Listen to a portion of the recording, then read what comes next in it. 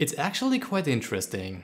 Over the past year, I've seen many comments and online posts suggesting that Linux Mint with its Cinnamon desktop environment is the best choice for newcomers if they used to use Windows. But I've never quite understood why. Don't get me wrong, Linux Mint as well as Cinnamon are both really good choices and you probably will not regret using them either together or even separately. That being said, what I don't agree upon is the reasoning on why Linux Mint is supposed to be the best.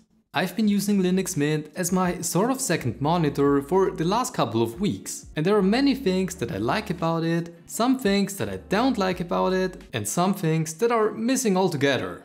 So let's talk about it. But first, let me remind you that you don't forget to give this video a like, and while you're down there, why not also subscribe to the channel as well? I appreciate your support and welcome to the community. Okay, so let's start off from the beginning. What is Linux Mint and what are the reasons on why it's being called out so often as being a Windows-friendly operating system? First off, to no surprise, Cinnamon, the default desktop environment of Linux Mint, uses a traditional taskbar and start menu, which is essential for Windows users. Or so they think at least. One sort of problem that many seem to forget whenever they recommend a desktop environment to newcomers is familiarity. And not in a good way. See, many coming from Windows don't actually know what they really prefer, since there are not that many options out there. There is essentially Windows with a taskbar and macOS with a dock, and nothing in between. Why is that a problem in my opinion?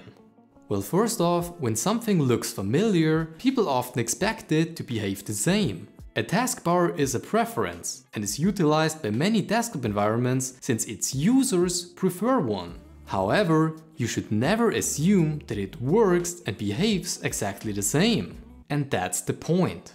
Don't just recommend a desktop environment because it has a taskbar and a start menu. This taskbar will behave different than the one they know and they might be thrown off by that. Their mindset has always been trained in a different direction. I just needed to get that out of my system because whenever I read something like that online, it really bothers me. Linux Mint has so many other things that make it awesome. So let's start off by first talking about the installation experience. Linux Mint installer is very straightforward. Choose a language and the keyboard layout, select if you want to install multimedia codecs to make sure that everything renders properly, and choose the hard drive where it should be installed on. Alternatively, and especially for laptops, you can also encrypt your drive with a password, set a time zone and a user, and that's it. In the user configuration, Mint also offers the option to encrypt your home directory, which is useful if you have several different user accounts on your system, which could potentially read out your personal files if they have elevated permissions. If you have an Nvidia GPU, then you also automatically get to install the correct proprietary driver directly after the installation. And you don't even wanna know how important that is for good usability. So yeah, the installation experience is really great. Right off the bat, Linux Mint looks a lot like Windows 10. It has a traditional taskbar, some quick settings and a calendar on the right, as well as some shortcuts and a start menu on the left, which has a sort of modernized Windows XP look. Everything's a bit chubby, if you know what I mean.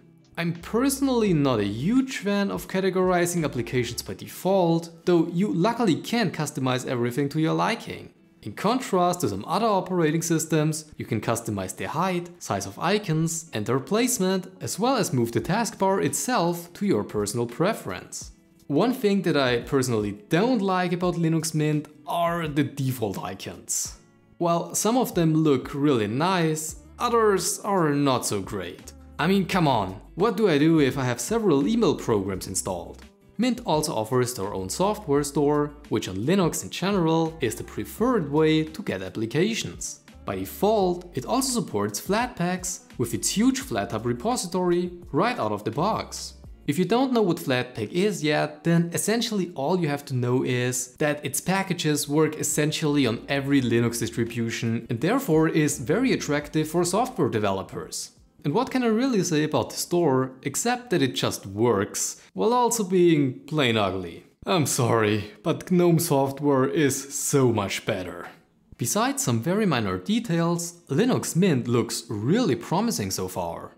So let's move on to something else that basically everyone uses almost every single day. The file manager. And not gonna lie, it's really easy to use. It has a clean interface with the most important shortcuts on the left. You can choose a preferred layout, can add or remove details in the preferences, add your own favorites if you want to, and you can even create files right within the directory. You might wonder why I bring that up, but you can't do that in GNOME for example. On top of that, you can enter a custom path just like on Windows and one more feature that is really useful is that you can launch the file manager with root privileges since it easily allows you to copy or open files in protected directories. On other distributions, you often have to use a terminal to do that or use it to start a privileged session. Very nice. Let's move on to the settings next. oh boy. Okay, they take some time to get used to, but once you know them, it's not that hard to find something.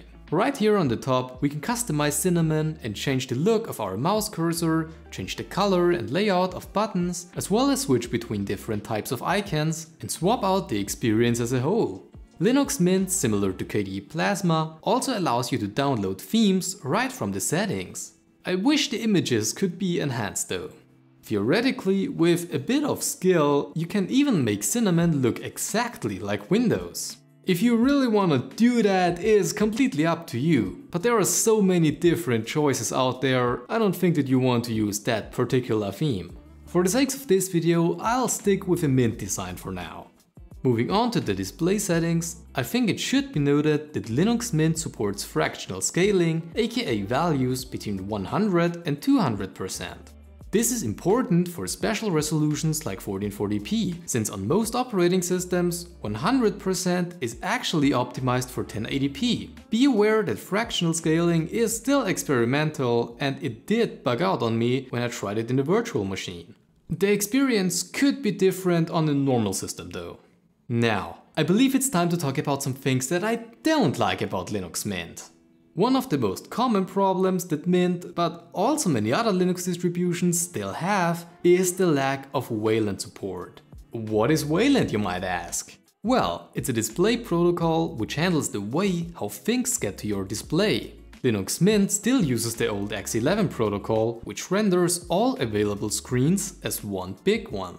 See, if you have for example two monitors with different refresh rates, then it often happens that the one with the higher refresh rate gets synced with the lower one, aka you don't get the advertised experience from it. And while I have criticized Wayland in the past, over the past year there have been many quality of life improvements, especially with the influence by Valve and the distros which now ship with it by default. Overall, it really has become a better experience, but some issues still do persist.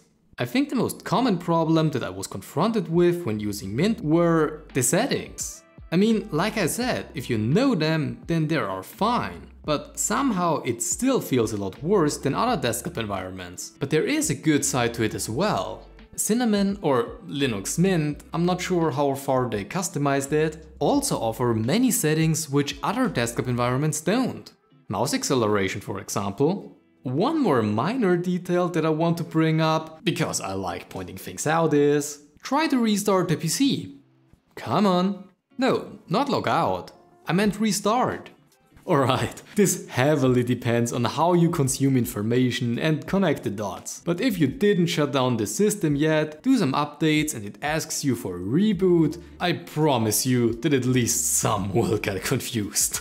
You know, Linux Mint and Cinnamon often strike me as a sort of if you know, you know feeling. But, but whatever.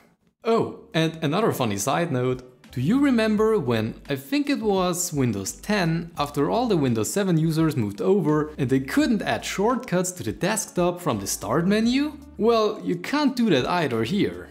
Alright? But you can at least add them to the taskbar, or also called panel. Oh, and by the way, if you feel like the desktop looks a bit weird, don't worry, we can adjust the grid to our liking and also change the way how we sort icons, since by default they get arranged automatically. I'm not quite sure why they chose to integrate this by default, but there is a possibility that actually more people use this feature than assumed. Pretty interesting actually. So yeah, overall Linux Mint is a really good operating system regardless from where you are coming from. It comes with a few pre-installed apps, but overall looks in the way of keeping the operating system as light as possible. Its Ubuntu base allows you to access a wide range of different repositories with lots of applications and is generally easy to use. I personally wouldn't recommend Linux Mint for a random newcomer, but not for the reasons that you might think.